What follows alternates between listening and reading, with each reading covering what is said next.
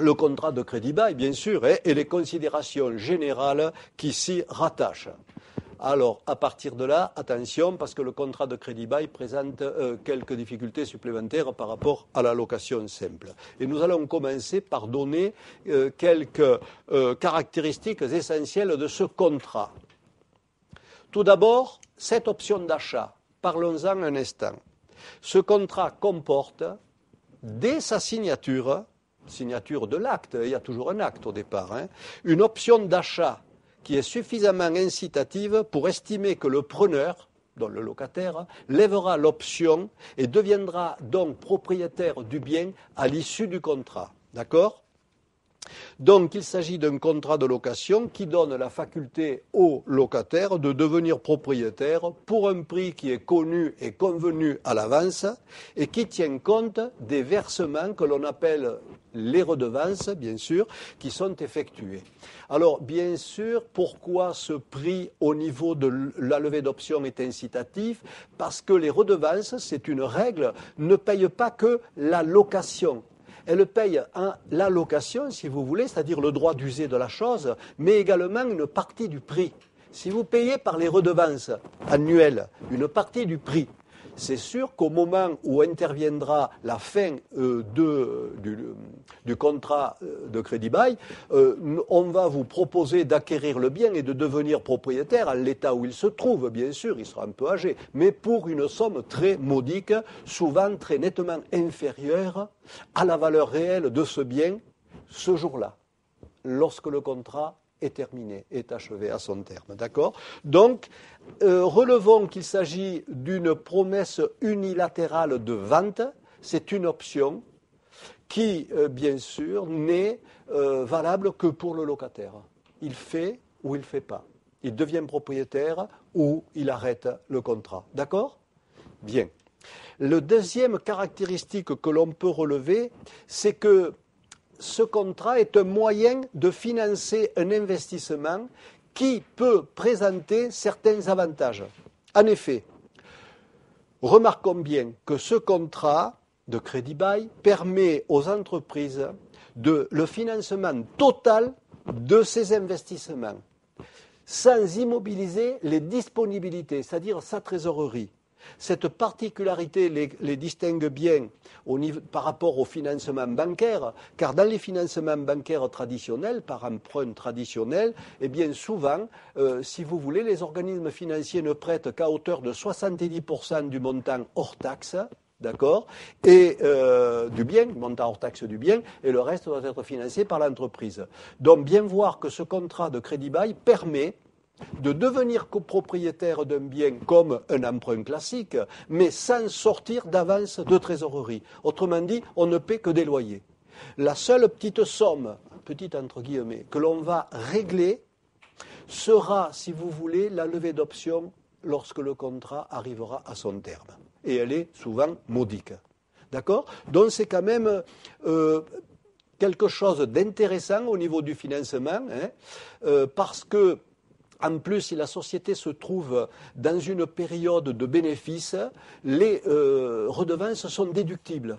Donc, euh, dans un premier temps, on déduit toutes ces charges, comme si c'était un amortissement, hein, on va dire, et puis euh, on n'avance pas de trésorerie, et on a la possibilité, donc, de devenir quand même propriétaire. Bien. Alors, une autre caractéristique de ce contrat, c'est qu'il existe deux catégories euh, distinctes de ce contrat, même si euh, des caractéristiques sont communes, et nous les verrons, mais euh, disons d'entrée que nous étudions, et nous allons étudier pour le moment, le contrat de crédit bail mobilier, mais il y aura aussi une étude du contrat de crédit bail immobilier. Autre caractéristique, c'est que ce contrat se compose de deux éléments différents. Deux éléments que, autrement dit, ce contrat, on peut l'analyser de la manière suivante. D'abord, il représente un droit au bail, c'est-à-dire le droit d'utiliser le bien sur la totalité de la période de location, droit d'usage.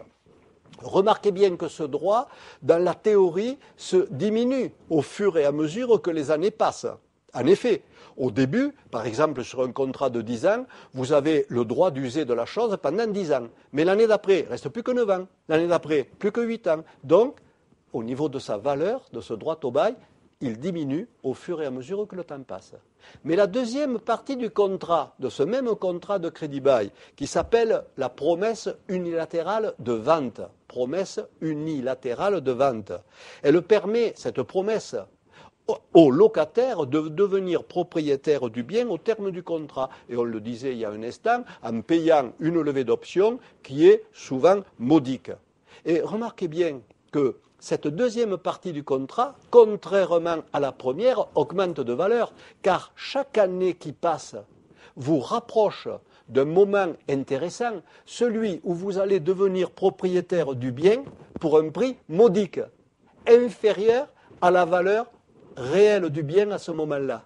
Donc deux éléments dans ce contrat, la durée le droit au bail et cette, cette, possibilité de devenir propriétaire à des conditions intéressantes, puisque l'effort financier, on l'a fait dans les redevances. Et n'oubliez pas cette caractéristique, vous verrez, nous y reviendrons. Une autre caractéristique, vous voyez, on développe quand même pas mal ce contrat de crédit bail. Il s'agit des redevances.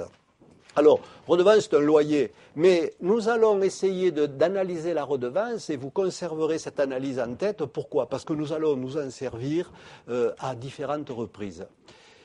Eh bien, nous pouvons dire que la redevance s'analyse en deux parties l'amortissement financier. Et d'ailleurs, d'ailleurs, lorsqu'on souscrit un contrat de crédit bail, l'entreprise, bien entendu, reçoit une sorte de, euh, de, plan, de programme de redevance qui donne ce détail, bien sûr. La partie haute, on a l'habitude de dire, la partie haute de la redevance représente l'amortissement financier, c'est-à-dire ce qui correspond en théorie à la partie à rembourser en capital. Parce que dans le fond, votre bailleur, c'est quoi? C'est quelqu'un qui a financé ce bien et vous allez devenir très certainement propriétaire. Il faut donc le payer. Donc lui, c'est comme s'il vous accordait un emprunt. Il va falloir rembourser cet emprunt et comme il vous euh, met à disposition cela pendant une certaine durée, et parfois de très nombreuses années, il va vous faire payer quoi? Ben, Comme une banque normale, des intérêts, hein le prix du crédit. Donc la partie basse de la redevance va s'appeler les intérêts financiers. Donc c'est l'intérêt de l'emprunt. Euh, autre caractéristique, c'est la situation à la levée d'option. Il convient de remarquer qu'à la levée d'option, le montant du rachat, comme nous le disions euh, il, y a quelques instants, euh, apparaît sensiblement plus faible que la juste valeur du bien à ce moment-là.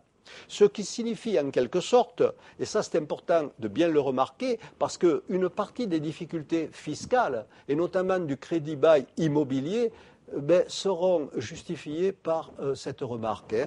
Donc, ce qui veut dire qu'en quelque sorte, les redevances ne rémunèrent pas que la location, elles rémunèrent également une partie du prix du bien. C'est pour cette raison que lorsque vous avez payé par les redevances une partie du bien, comment ne pas lever l'option? Vous l'avez en partie payé ce bien. Comment ne pas lever l'option? C'est pour cela que la levée d'option, on peut considérer qu'elle est quasi certaine. Et, nous y reviendrons parce que c'est intéressant de le souligner, notamment sur un des aspects du problème, l'aspect fiscal.